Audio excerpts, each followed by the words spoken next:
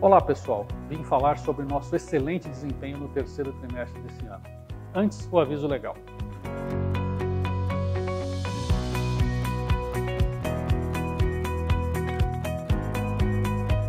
O segmento de celulose somou 2,7 milhões de toneladas em vendas no período, graças à sólida demanda, em especial na Europa e na América do Norte, e a contínua diferença entre os preços da celulose de fibra longa e curta que incentiva a substituição de uma pela outra.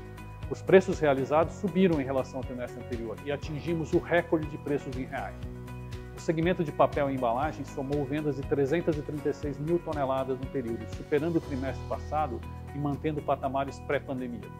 Com isso, a receita líquida de vendas da companhia foi de 10,8 bilhões de reais, 9% maior que no segundo trimestre e 44% maior que o mesmo período do ano anterior.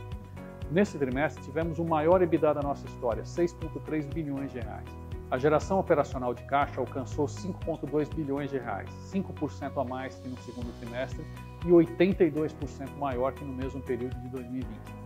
No lado do custo, houve evolução negativa no custo caixa de produção, que subiu para 711 reais por tonelada, em função principalmente do aumento dos preços dos insumos, notadamente as commodities. A variação cambial no período desfavoreceu o resultado financeiro contábil da companhia, que foi negativo em 7,8 bilhões de reais, explicando o prejuízo de 959 milhões de reais no trimestre.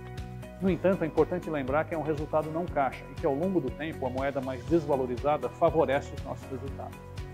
Nossa posição de liquidez fortaleceu ainda mais, fechando o trimestre em 3,5 bilhões de dólares. Em função da variação cambial no período, a dívida líquida apresentou um leve aumento em reais, mas um decréscimo de 700 milhões de dólares, somando agora 10,7 bilhões de dólares. Também avançamos em nosso ciclo de desalavancagem pós-fusão, o indicador chegando a 2,7 vezes, enquadrado em nossa política financeira, o que reforça nosso contínuo foco em disciplina financeira. Isso cria as condições para que possamos iniciar um novo ciclo de crescimento.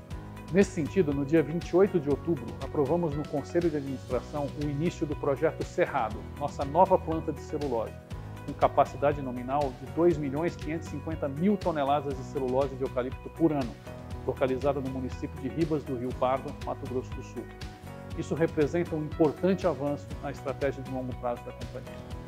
Na frente ESG, aderimos ao SBTI, com o compromisso de traçar uma meta de reduções de carbono alinhada ao cenário climático de redução de emissões que limite o aquecimento global em no máximo 1,5 graus Celsius.